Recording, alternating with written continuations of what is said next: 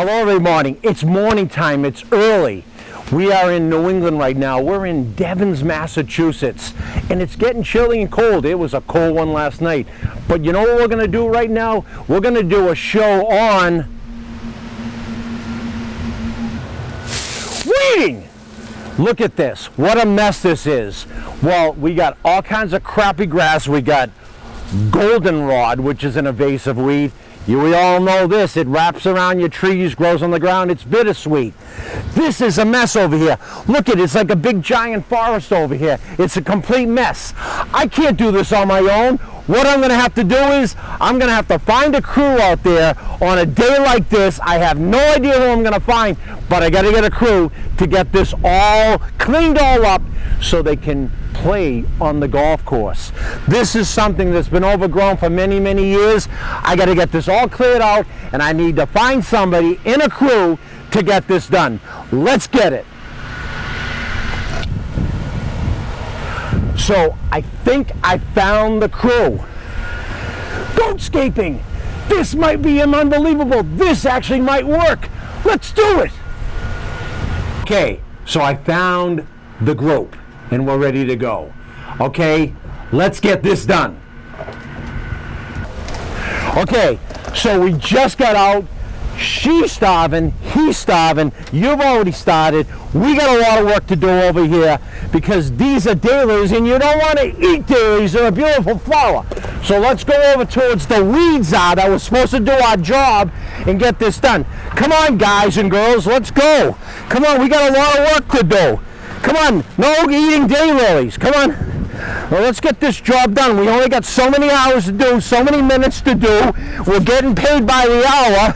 And of course, whew, this is like a carriage, a Santa Claus laying here.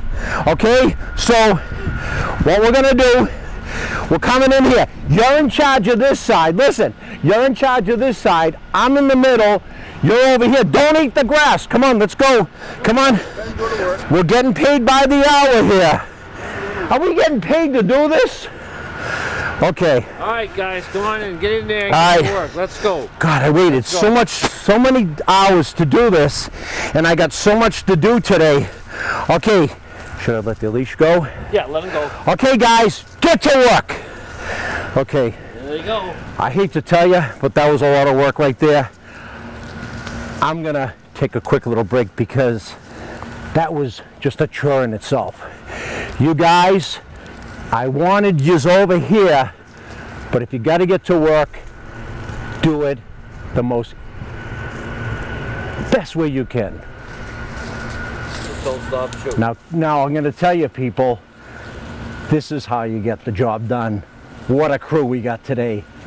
Unbelievable.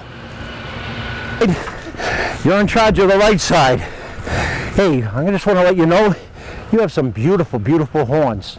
Okay, let's go. Everybody wants to steal the daylilies. So, you see your other brothers over there?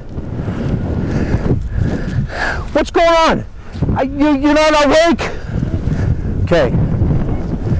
Come on. Come on, you have to be part of this. We're getting paid by the hour. Okay? See? That's how you clear it. Come on. I know I felt like that this morning, but I got to get to work. Come on.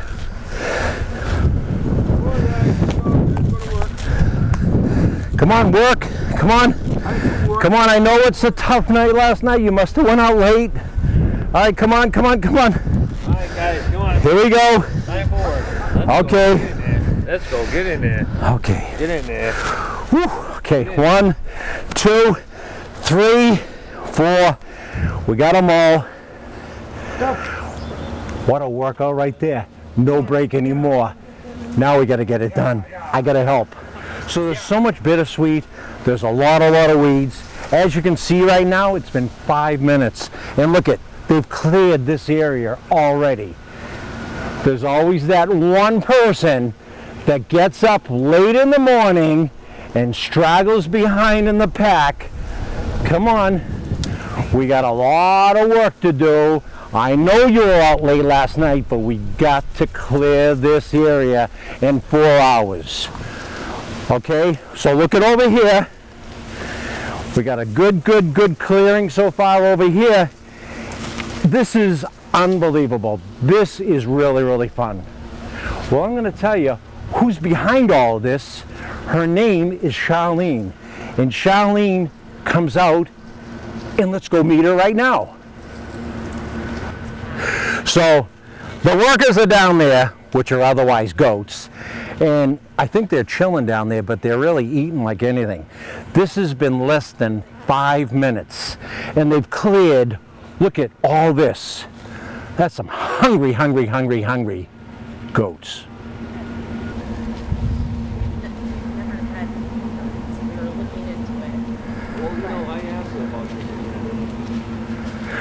So I am with Charlene right now. It took many, many weeks to get this together, but I am so happy that I'm doing this. Welcome to another show with Around the Garden with Jimmy K. This is, I'm out of breath. This was unbelievable just getting this done, and now they're relaxed and they're eating. Charlene, this must be so much fun to you to do this, and this is your business. What got you into this?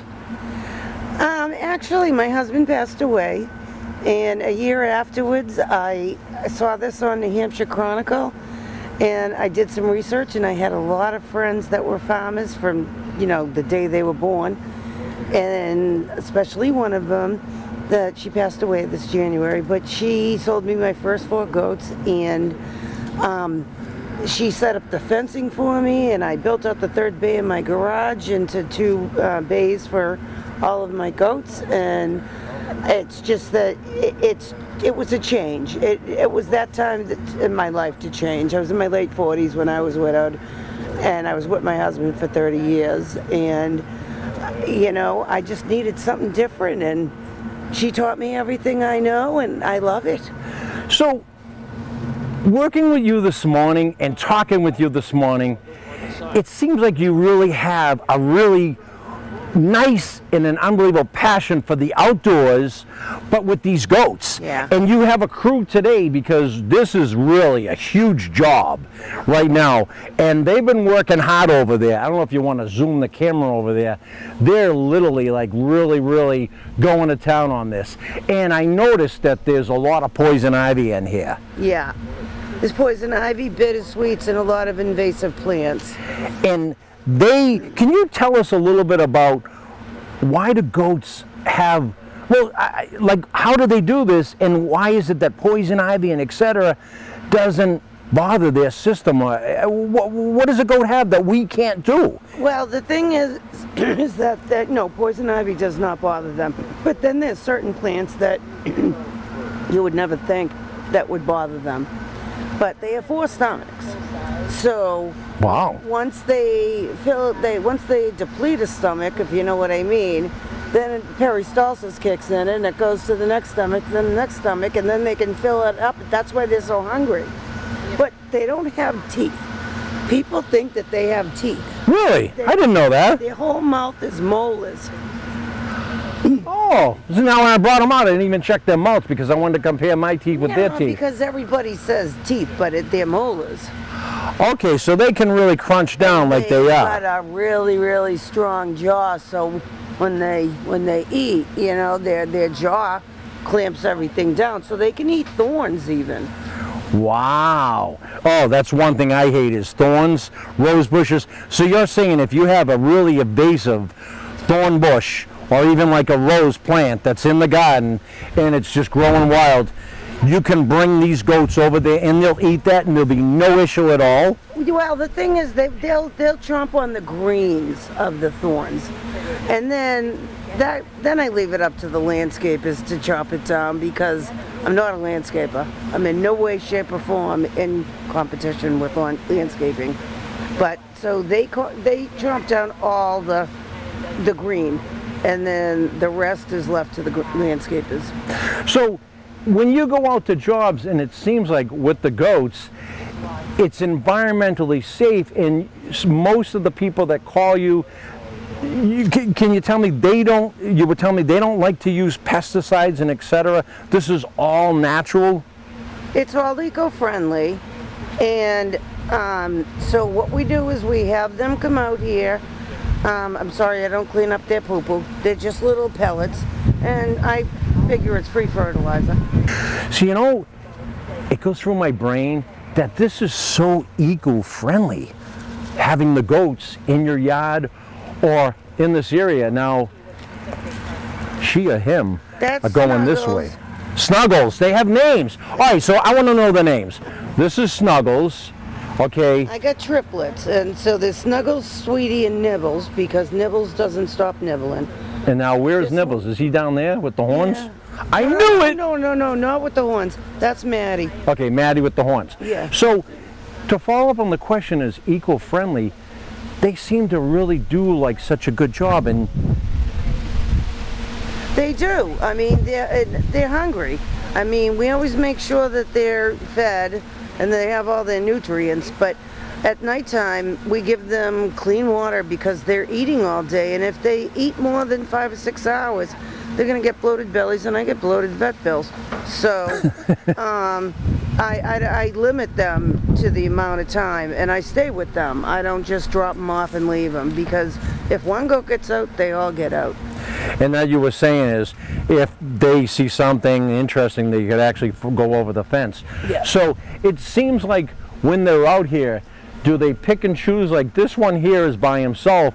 Some goats like certain things or they just like to be by themselves because No. Charlene, they are really clearing the area. I mean, we've been talking here not that long and they're really clearing the area. And it seems like like people they're almost like breaking up into their own little area like they're taking their little lunch box and they're going in the corner and they're just eating by themselves.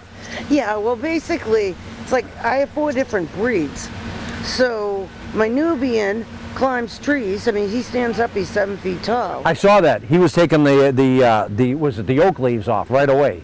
And um, my Alpine, she stands up about six feet tall. So she looks like a deer. so take a look at that. That's Adeline. Now right take a look at Adeline over there. now Adeline seems to be the climber that. Oh, and we got another one with the leaves, and it's basically what, what are they? They're, they're eating mostly leaves on the ground. They're They're eating all the invasives. So they're gonna leave this as like a skeleton by the time they're done. This is only their second day. So, unbelievable. um, and they've done quite a bit. Now, what do goats love when they go out to like an area like this? What's the first thing that they love? Right away, it looked like they loved the daylilies, or they were just so hungry they took whatever came right out. They can't eat daylilies. Oh, okay. That's goldenrod. No, their favorite is raspberries. Oh, geez, of course. Who doesn't? At, at what, nine ninety nine a pound? Why not? Why can't you get them for free over here? Yeah. Oh, I see that. Wow.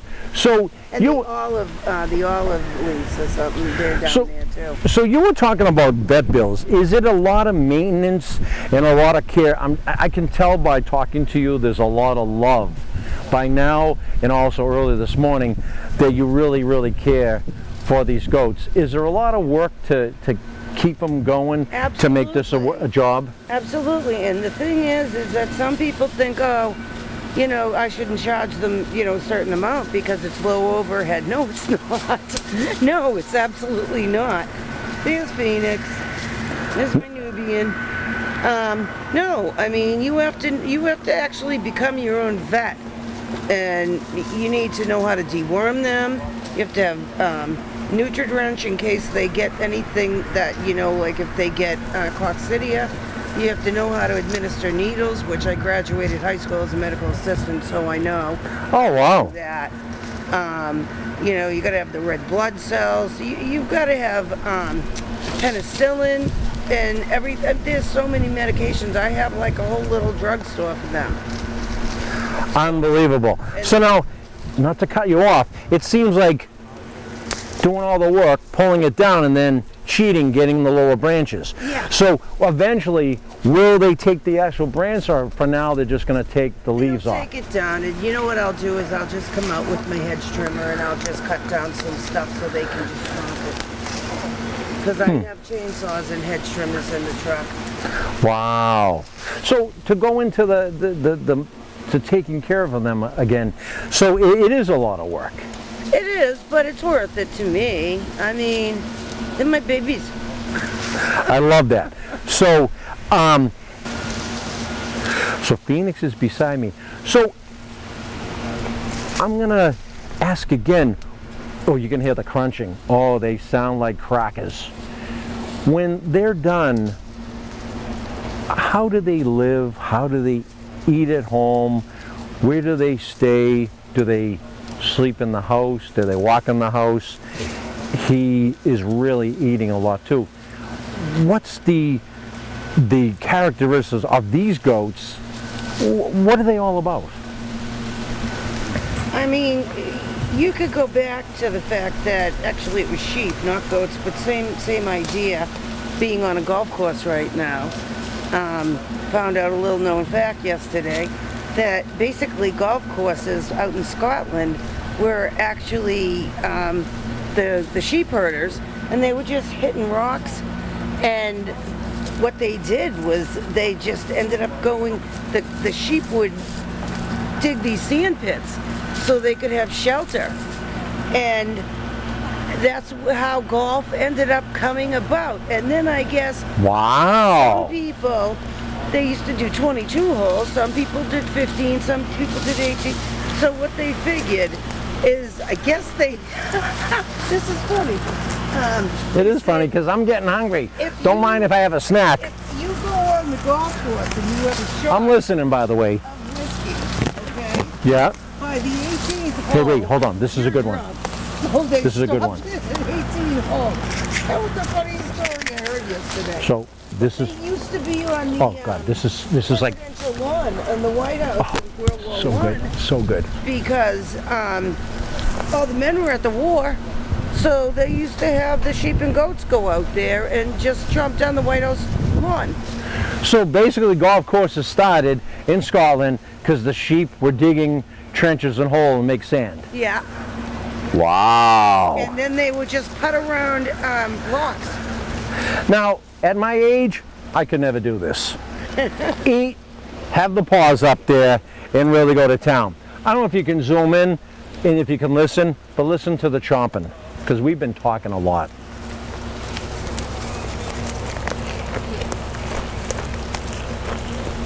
Hmm, that is good. That's good. You know what I had last night? I had some unbelievable cheese and crackers, and I know you guys can't eat it, but you know something? This is much better because you know why?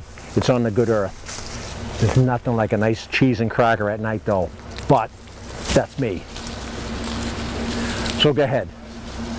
So no, I mean on my website, it's uh, www.chompersgoatscaping.com. Um, it, there's a, a lot of known facts about how many breeds there are and all different parts of history. I didn't get it all because I didn't know about the golf course thing until yesterday. One of the uh, groundskeepers had told me so. So in the beginning, you were saying you're a realtor and you love to be in outdoors. Do you see yourself in the future getting hundreds of goats, me working for you, sitting down and just going, come on guys, we got to do acres and acres and acres more? In an ideal world, probably yes. But uh, you know, I don't have the room. I built out the third bay of my garage. Had a local um, contractor do it for me into two stalls to fit everybody because I, I only started with four, but I ended up with all these guys. And um, so I get them into into their stalls uh, off the off the trailer at home, and then they just run to the to their pen.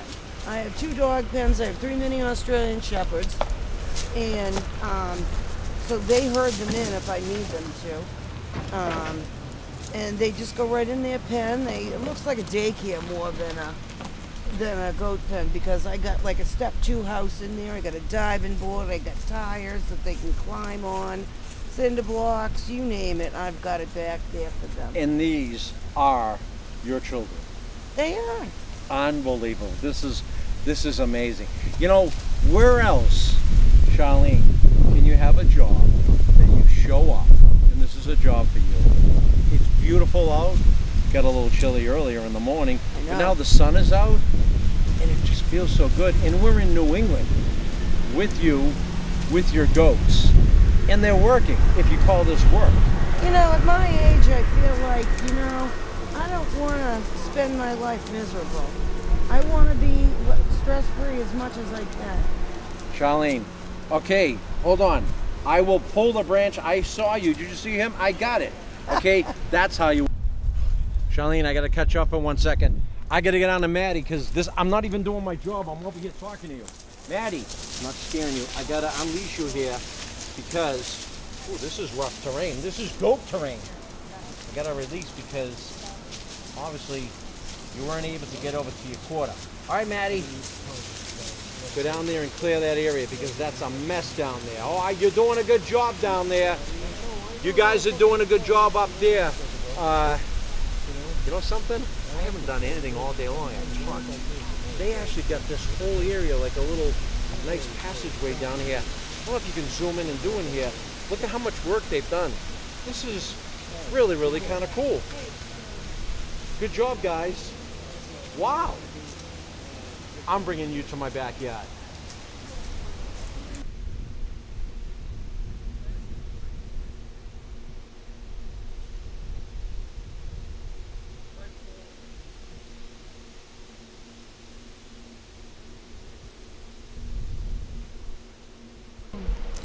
Okay, so this has been so different for me.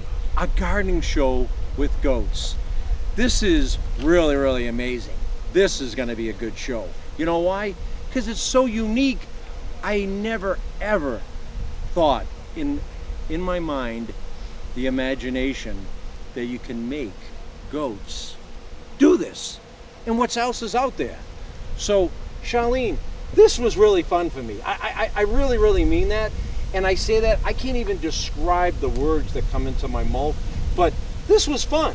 And we worked, but we focused on the goats, but you had your crew as well too. Can you tell people how and where and what you do? Because you can do it in people's yards and business and etc. with your crew. Charlene, this is deep in my heart. I had some really, really fun. And I love animals as much as Christine, but this is fun. Yeah. It is fun. I, like to enjoy my days. I like to enjoy my days. I mean, these guys, even though they are a lot of work, they make me happy. I do residential and commercial. But the thing is, is that what it comes down to is that I just have to enjoy my life. And eh, eh, it, it you know, depends when I have to walk the land to make sure that there's no poison ivy. I mean, well, there's no, I shouldn't say poison ivy, but there's no invasive plants that would actually be poisonous to them, like pokeweed and certain other things that are on my website. Again, www.chompersgoatscaping.com. Um, you can always call me 978-512-2135 and I just enjoy it. I only work half the year though, which really stinks, but we live in New England, so it is what it is. So Charlene, you got into just your crew because they had a lot to do today. They had to help you with the uh, the fencing. They had to help me. The goats got a hold of me and they were pulling me and they had to open the fence. You only seen what you saw on camera. It was amazing. And can you let me know more and let everybody know more about and, and introduce them because they were great today in the beautiful sun. Well, this is Bob, and he's also a professional Santa. Oh wow, it's almost that time. This is what I do in the off season. And Love it. And now how can they reach out to you? Uh, my phone number. Okay. what is But they can number? reach it out. They can reach it now. They can they reach out and call you by phone or through Charlene. Both. And how do they get in touch with you? Well, most of it's word of mouth. Okay. Give him your phone number. 978 425 5018. and you are a professional Santa a Claus. Santa for over 50 years now. I didn't know that, and I was working youth all day. I was working with Santa with goats. And then this is Sarah, Hello. and she has her own farm, chicken farm, and she also plants a lot of plants, like sunflowers and things like that. Why don't you tell them about your farm? Yep. I own uh, Forever Farm in Pepperell, Massachusetts, and um, Yep, we have 40 plus chickens. We sell their eggs. Um, I grow flowers for cut flowers for bouquets um, and grow organic vegetables and all kinds of stuff like that. I have a self serve farm stand on our property. So, um, yeah, I- the honor system. she she called me up and needed some help and when the kids are at school they come and do this and I have fun. I love hanging out with the goats and And it most certainly showed working with you that I really had a really good time today. And I've done a lot of shows, but this one here was really fun because not only were they open air, but working with a crew that I had no idea what kind of crew I was going to find. And I found goats. Well, everybody, thank you so much for tuning in. I'm going to show you some of the goats. Really, thank you so much, guys. And I am so glad that I met you, Charlie. uh, Thank you for coming out. Look at this. It's Chompers, and yeah, it says it in the name. Goats, Santa, and a farm girl, all in Charlene, all in a group. Thank you very much, and enjoy the great, great gardens that we have in New England. Be good, all.